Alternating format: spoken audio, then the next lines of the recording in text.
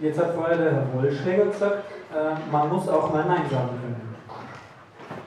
Gleichzeitig äh, habe ich von allen anderen, ah, äh, von Ihnen beiden, glaube ich, sehr explizit gehört, ähm, für einen Wohnraum für Einheimische schaffen.